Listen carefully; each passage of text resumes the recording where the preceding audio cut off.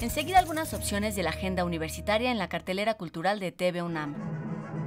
Para comenzar tenemos música y el concierto de la Orquesta Filarmónica de la UNAM que este fin de semana está dedicado a los más pequeños.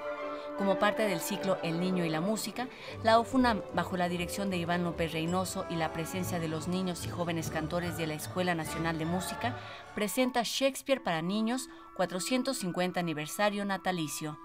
Fragmentos de las obras de Prokofiev, Tchaikovsky y Mendelssohn, entre otros, se escucharán este sábado 15 a las 18 horas y el domingo 16 al mediodía. Continúa en la programación cinematográfica el ciclo Cineastas Mexicanos Contemporáneos. La pantalla de la sala Julio Bracho se hunde en las profundidades del mar con Azul Intangible, documental realizado con apoyo del programa de óperas primas del CUEC, que invita al disfrute y a la reflexión a través de imágenes sorprendentes. Se trata de una crónica de viaje que realizó Erendira Valle para retratar la diversidad de especies, la riqueza marítima y sorprendentes paisajes en las aguas del Golfo de California y el Océano Pacífico, para mostrar el vínculo de este universo con los habitantes de las ciudades. Azul Intangible se exhibe hasta el 16 de febrero en el Centro Cultural Universitario. Como parte del mismo ciclo, se exhibe Lupe el de la Vaca en la sala Carlos Monsiváis, se trata de un documental de Blanca Aguirre que hace un homenaje a la comunidad de El Corralito en la Sierra del Tigre, Jalisco.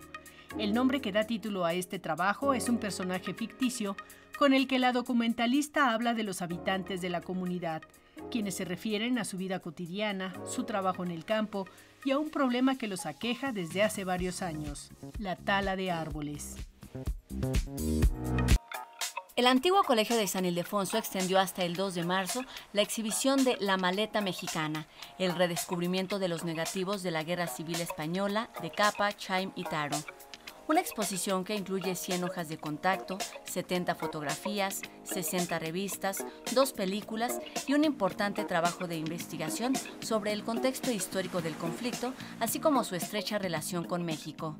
Se trata de un importante archivo que se exhibe por primera vez en Latinoamérica, luego de que en el 2007 aparecieran en la casa de un diplomático mexicano tres cajas de cartón que contenían casi 4.500 negativos y que son conocidas como la maleta mexicana. Grandes Maestros UNAM invita al primer curso de este año.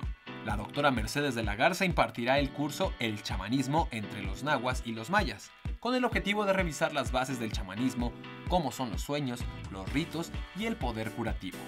El curso se llevará a cabo del 26 de febrero al 26 de marzo de 12 a 14 horas en la sala Carlos Chávez del Centro Cultural Universitario. Las inscripciones ya están abiertas, los detalles se encuentran en la página www.grandesmaestros.unam.mx.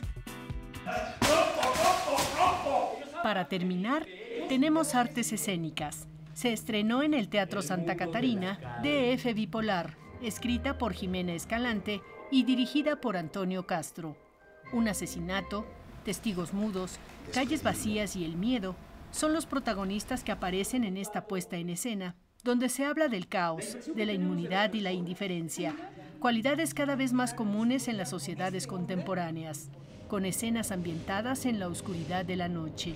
DF Bipolar se presenta en el espacio universitario de Coyoacán hasta el 9 de marzo, con funciones de jueves a domingo.